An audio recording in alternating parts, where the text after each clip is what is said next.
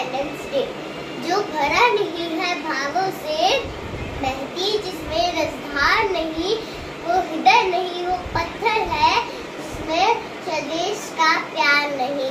Jai Hind, Jai Bharat.